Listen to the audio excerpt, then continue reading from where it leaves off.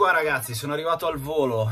L'arbitro ha appena fischiato dopo questi 10 minuti di recupero, ma come si fa? Ma come si fa? Ma come si fa? Ho chiamato questo video perché non mi veniva un altro titolo più intelligente, ragazzi. Mm. Allora, esordio, eh, esordio negativo eh, per quanto riguarda la Juventus in Europa League in questi playoff, negativo ovviamente per il risultato, ovviamente per quello che abbiamo visto in campo. Eh, partiamo, da, partiamo dal, dall'inizio, cerchiamo di dare un po' un senso logico a, a, quello che ho visto questa sera, che abbiamo visto questa sera. L'azione più bella della partita è, sicuramente, è stata sicuramente quella del gol della Juve, bellissimo il traversone di, di Maria che trova Chiesa, bello l'assist di testa, tapin vincente di Vlaovic.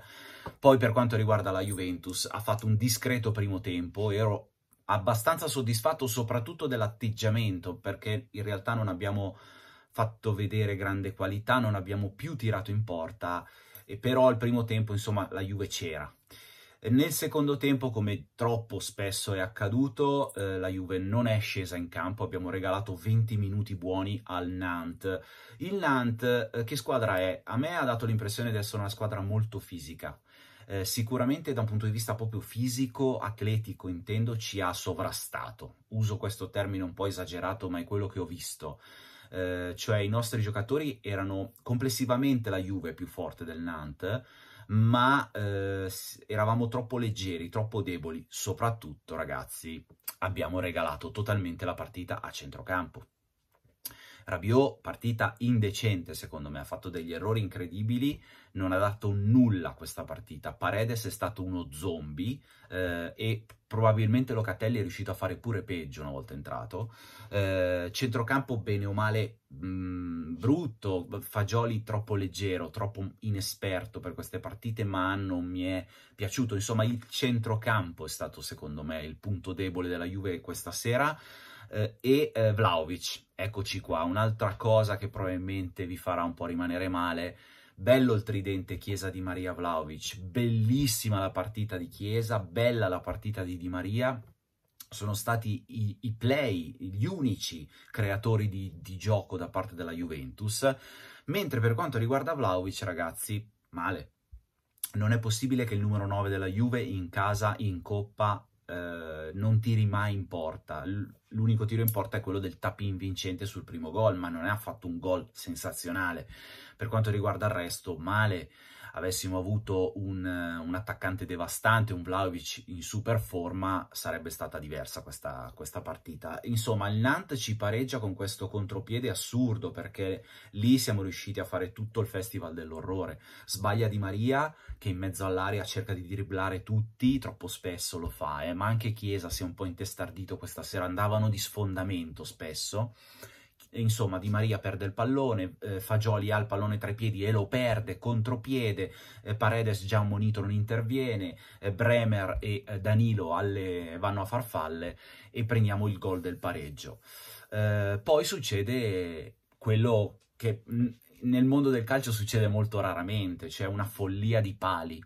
Chiesa, un bellissimo tiro, traversa, riga, palo, tutti pensavamo fosse entrato, ma non è così. E poi pochi minuti dopo un'altra traversa della Juve, insomma una sfortuna nera, ragazzi.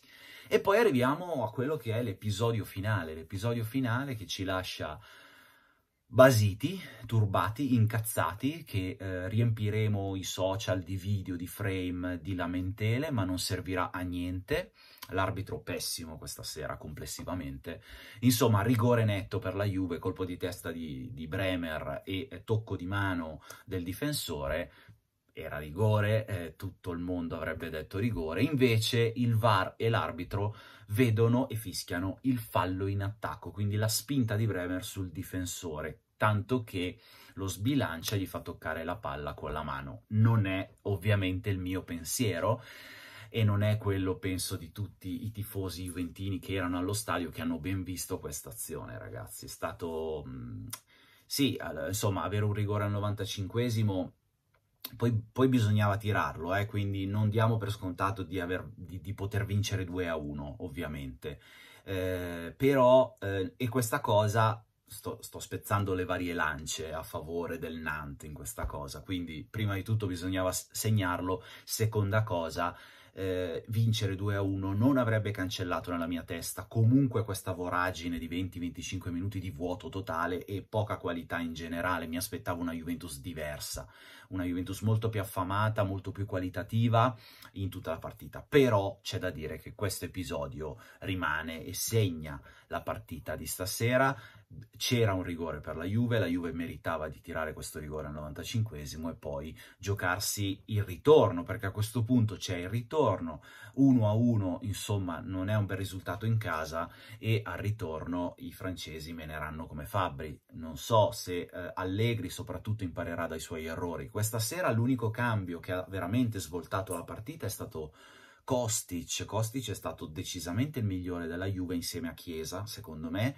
Eh, per quanto riguarda gli altri zombie, eh, parlo di Quadrado, Quadrado è riuscito a fare peggio di De Sciglio, eh, Locatelli molto male, mol, molto molto male, è entrato male, Sule, poverino, non ho capito questo cambio, Sule per Di Maria, abbiamo... Ehm, diviso per 10 la qualità, se non per 20 la qualità che in quel momento avevamo in campo. Capisco che Di Maria ha la sua età, capisco che deve riposarsi, ma era un momento nevralgico della partita, una partita che la Juve non stava vincendo. Quindi entra su lei, poverino, quello che ha fatto è sbagliare i due palloni, eh, farseli, eh, perderli, ok? Poco altro, ragazzi, ho visto poco, poco, poco altro. Eh, complessivamente penso di avervi detto tutto, la mia analisi si ferma qui eh, c'è poco da dire, sono abbastanza deluso dalla Juve come prestazione generale, perché mi aspettavo di meglio, sono ovviamente molto amareggiato per la sfortuna nera che abbiamo avuto, vedi pali e traverse, e sono incazzato per questo eh, arbitraggio che mi ha deluso. Non voglio dimenticarmi di un altro episodio, poi vi saluto, che non ho visto perché Sky non ha fatto rivedere più nessun tipo di replay. Il, l'ipotetico fallo da rigore per la Juve, che, da, da, cui poi scaturisce il contropiede del Nantes. C'è una spinta e i nostri giocatori, credo Chiesa, cade per terra e eh, chiedono il calcio di rigore. Questa è un'azione che non hanno rivisto, non hanno fatto rivedere e anche questa, secondo me, meriterebbe un'analisi approfondita. Insomma, ragazzi, ditemi la vostra, eh, siamo tutti abbastanza delusi, eh, insomma è un video un po' così, eh, è un, è un misto, un misto di emozioni, l'avete capito, amarezza, tristezza, non esageriamo, però insomma amarezza sì e delusione per questo mondo del calcio, per questi arbitraggi, il VAR, la tecnologia, che però alla fine lo vedete ragazzi, non so se siete d'accordo con me, non aiuta veramente a dipanare questa nebbia, no? a dipanare questi, queste situazioni caotiche dove alla fine è sempre un uomo che deve decidere. Siamo strapieni ormai di tecnologia, ma non sta aiutando. E allora, magari, ridateci il calcio come era nel 74, dove i calciatori si spaccavano le caviglie, nessuno vedeva, non c'erano manco le pay tv, e alla fine eravamo comunque tutti, erano perché io nel 74 non c'ero, ho inventato un anno a caso, comunque tutta l'Italia tifava e seguiva il calcio. Non lo so, forse sono troppo nostalgico io, soprattutto ultimamente, ma tant'è, tant'è, questa cosa non mi piace per niente. Ciao ragazzi, ci vediamo alla prossima partita e sempre Forza Juve.